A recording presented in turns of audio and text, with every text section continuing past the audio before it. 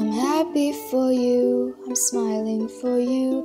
I do anything for you, for you. It's always for you and never for me. And I needed to stop, so let me tell you, please. I'm always sad and I'm always lonely, but I can't tell you that I'm breaking slowly. Closed doors, locked in, no keys, keeping my feelings hidden. There is no ease, and I needed to stop, and I want to be able to open up, but I, my feelings are fatal. My feelings